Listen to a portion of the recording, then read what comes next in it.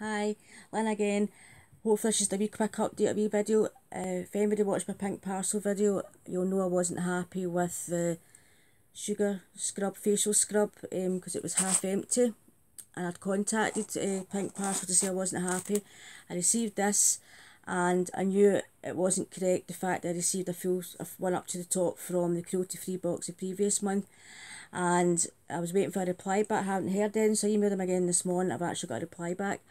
And also received tampons in my box instead of towels, uh, which I wasn't going to accept. I don't mind if they mix up for Bodyform, always. Uh, I don't need them, but Emma gets them, and she wouldn't use a tampon, so I need to get them replaced back to the towels. Anyway, I, I, I sent an email on the 3rd of May, I hadn't heard anything, so I emailed them again uh, this morning, we sent an email so I got a reply and basically said I hadn't received the first mail. Just said, Hi Lynn, thanks for getting in touch.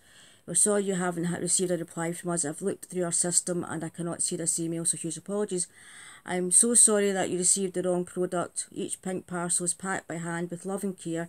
We always do our best to make sure all parts of our pink parcel are packed perfectly, however on occasions we have problems. Now, also we said we're extremely sorry for this, we have to send a photo to get a replacement. And also we have had a slight issue with the manufacture of the scrubs, so a few have leaked or been filled only halfway, which obviously I have. We are working with Cougar to resolve this issue as we have had uh, as we have had this issue we have received a replacement product from them which is a face mask. Are you happy for us to send you this product as a replacement for the scrub? And I've replied yes.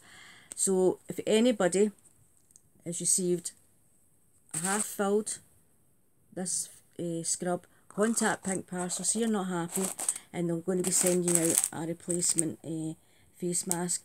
Now, I told you a story, and my, my Pink Parcel is, I received one of these from uh, April's uh, cruelty free box, and they'd sent emails out saying our boxes be late because they weren't going to accept a substandard product, was obviously this, and Pink Parcel have sent it out, which is totally unacceptable.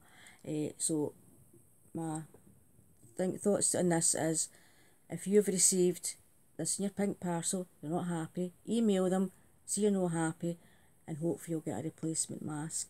But as was unacceptable. Anyway, that was just a quick uh, update from Pink Parcel. I have replied, didn't get my first email, I don't know why, because it, it definitely went through. Uh, I have replied to say they will be sending out a replacement face mask to replace this, which I'd actually prefer because I won't be using this anyway, it doesn't smell very nice. But I think they were wrong in the first place to be sending out something that's substandard.